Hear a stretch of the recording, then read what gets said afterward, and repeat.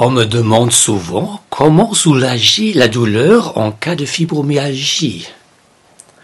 Si on cherche sur Internet comment soulager les douleurs de la fibromyalgie, on tombe le plus souvent sur des publicités pour des substances et des médicaments en vente libre. On trouve plus rarement des médicaments sur ordonnance qui sont en généralement plus efficaces, mais qui trop souvent ne produisent pas de miracles non plus et sont en fin de compte plutôt peu performants. La particularité de la fibromyalgie, c'est que les personnes qui en souffrent sont très sensibles à la douleur dans tout leur corps et ressentent souvent le moindre contact comme douloureux. S'ils se blessent ou trébuchent sur leur gros orteil, la douleur peut durer plus longtemps que chez les autres personnes.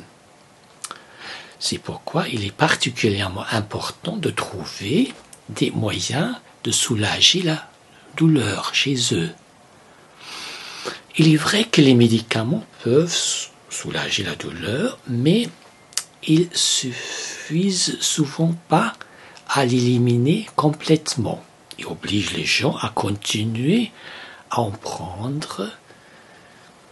Et ces traitements à la langue commencent à produire de plus en plus d'effets secondaires désagréables qu'il vaut mieux éviter.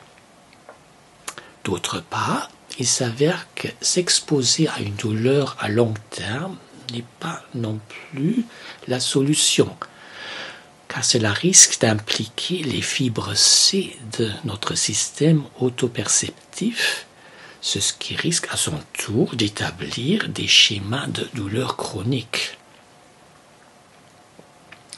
Pour répondre à la question comment atténuer ces douleurs, nous devons d'abord savoir à quel type de douleur nous avons affaire.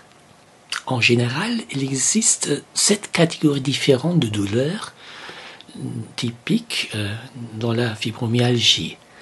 Les personnes qui souffrent de fibromyalgie peuvent présenter plusieurs types de ces douleurs en même temps, mais le nombre de catégories de douleurs et leur intensité varient fortement d'une personne à l'autre. Il y a d'abord l'hyperalgésie. L'hyperalgésie est un terme médical désignant la sensation de douleur accrue que vous ressentez en raison de la fibromyalgie. Cette affection n'est pas encore totalement comprise. On pense que le cerveau des personnes qui souffrent de fibromyalgie est plus sensible aux signaux de douleur une petite étude intéressante publiée dans Clinical Neurophysiology a mesuré l'activité musculaire nerveuse, ça se fait par EMG, électromyographie, des patients souffrant de myalgie et l'a comparée à celle d'autres patients lorsqu'ils exerçaient une pression sur leurs muscles avec euh, différentes forces. Les chercheurs ont rapporté que les tissus entourant les muscles des femmes qui souffrent de fibromyalgie réagissaient de manière excessive au moindre contact. L'activité musculaire était la même dans les trois groupes qu'ils ont examinés. Les chercheurs ont alors formulé l'hypothèse que le système nerveux des patients atteints de fibromyalgie envoyait des signaux qui poussaient les tissus à rester en état d'alerte les douleurs musculaires généralisées, si vous avez l'impression d'avoir toujours la grippe ou d'avoir mal partout, vous n'êtes pas seul. La douleur musculaire généralisée est une caractéristique de la fibromyalgie. De nombreuses personnes atteintes de fibromyalgie ont également tendance à souffrir de ce qui suit, des douleurs lombaires, qui peuvent s'éteindre aux fesses et aux, jambes, euh, d'une douleur ou d'une sensation d'oppression dans le cou qui se déplace vers l'arrière des épaules, une douleur entre les omoplates,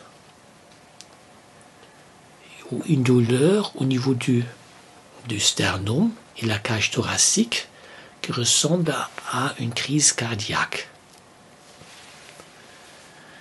Il y a les douleurs de l'articulation temporomandibulaire.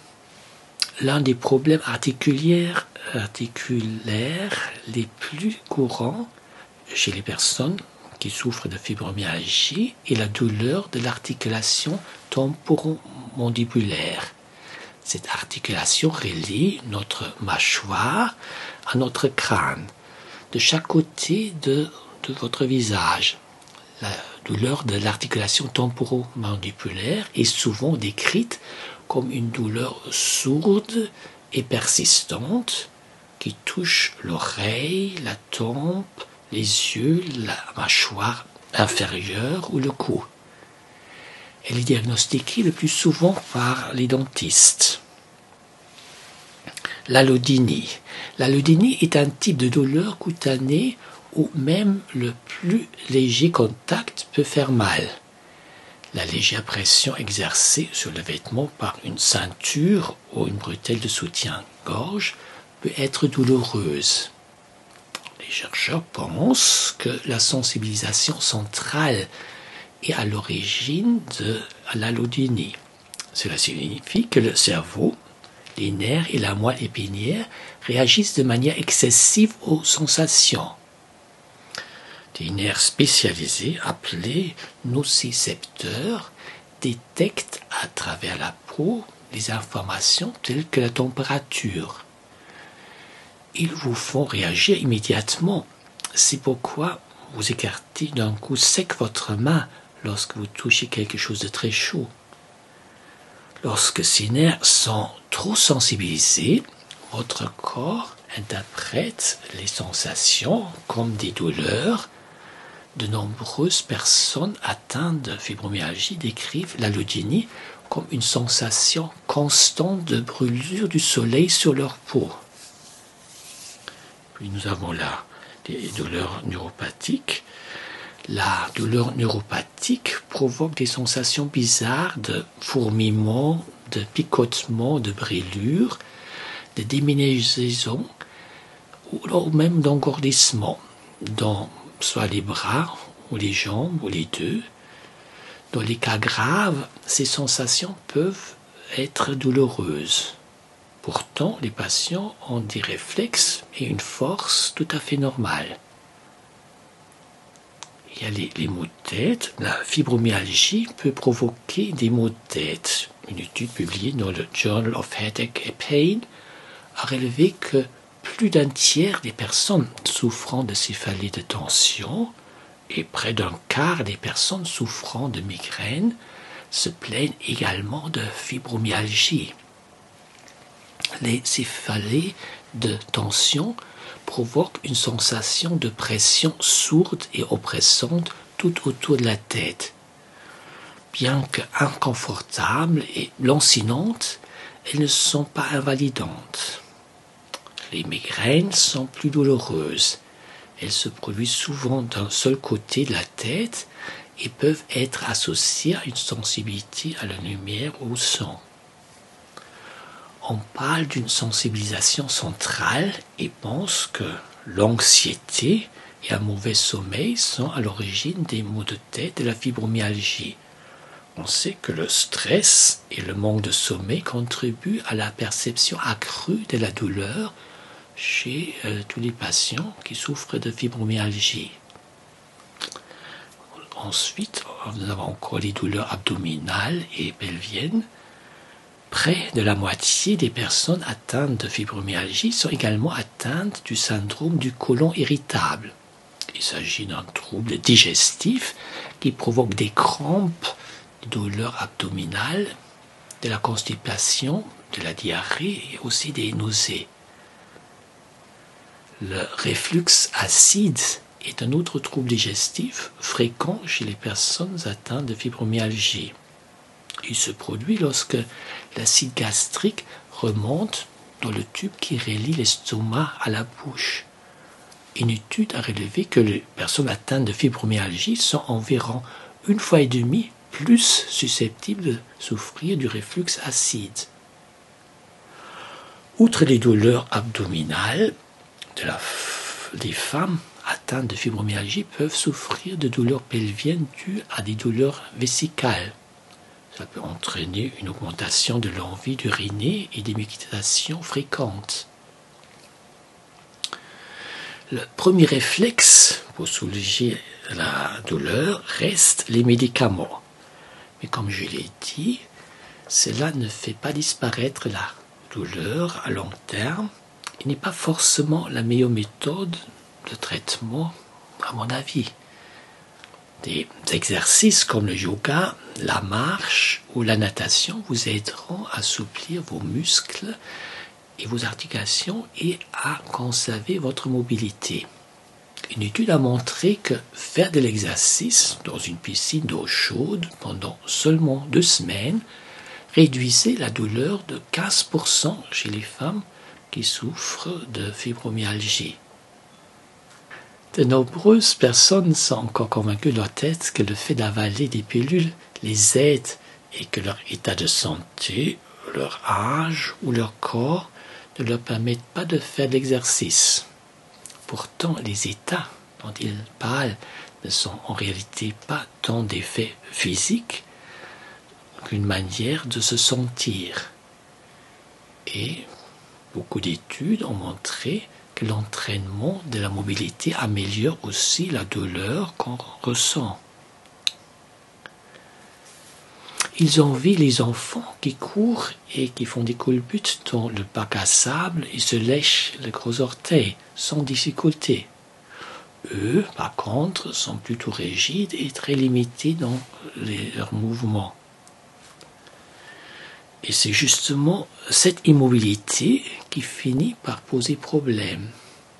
Au quotidien, nous utilisons guère les possibilités naturelles de mouvement de notre corps comporte plus de 100 articulations et plus de 600 muscles.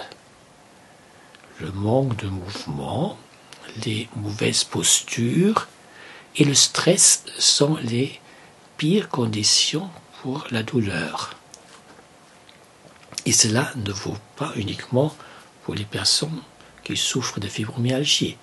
Les douleurs s'aggravent à cause d'une trop grande tension des muscles et des faisceaux collés.